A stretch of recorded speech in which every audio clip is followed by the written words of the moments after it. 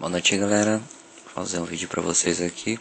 Hoje o vídeo vai ser sobre uma ferramenta que eu fiz para poder fazer torneios amadores. Bom, essa ferramenta consiste de quatro abas, jogadores, pontos, histórico e round. A gente tem aqui também as barras de menus, file, clear jogadores, help e about. About eu vou mostrar para vocês aqui. Aqui tem meu e-mail, desenvolvedor que sou eu, e se vocês quiserem entrar em contato, pode utilizar aqui. Bom, primeira coisa que a gente vai fazer então é adicionar jogadores. Eu vou adicionar o jogador Rogério. Vou adicionar o jogador Jesus. Vou adicionar o jogador Maria. Vou adicionar o jogador José. E vou adicionar o jogador João. Temos aqui cinco jogadores.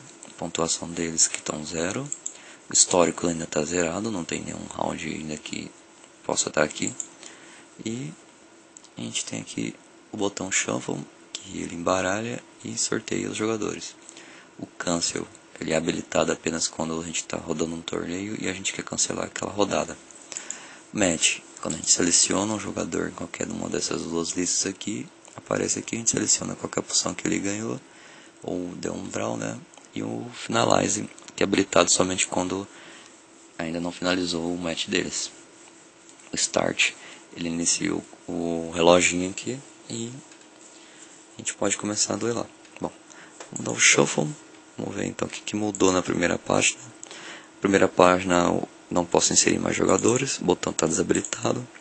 Pontuação, Rogério está com 3, provavelmente eh, Rogério ganhou de bye. Histórico, a gente tem o histórico do que aconteceu. É, a terceira linha a gente tem aqui, ó, análise.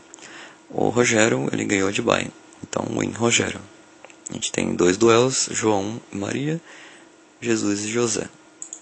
A gente vai aqui, seleciona então o jogador que a gente quer e ele aparece aqui do lado do match.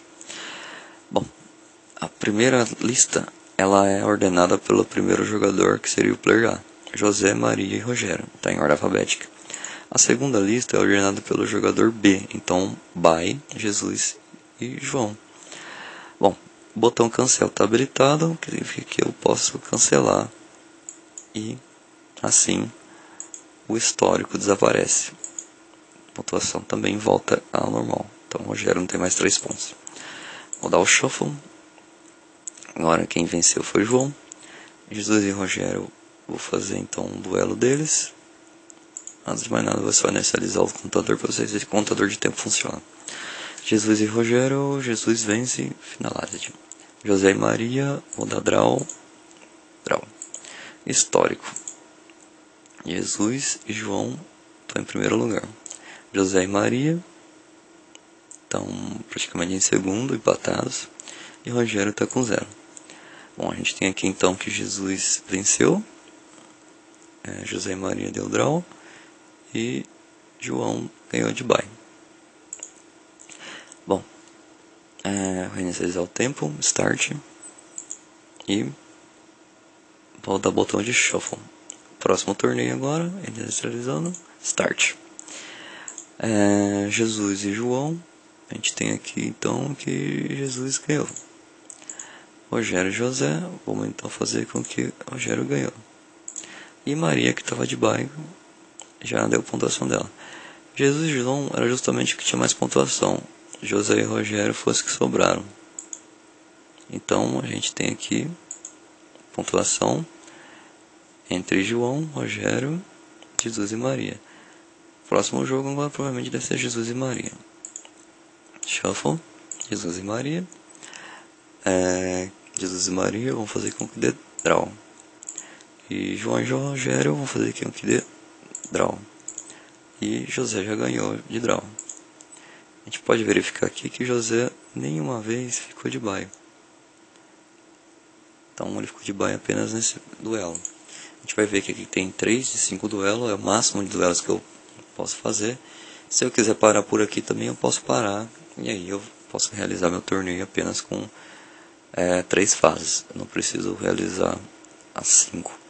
Também as 5 seria é, todos contra todos. Então isso fica difícil dependendo da quantidade de jogadores.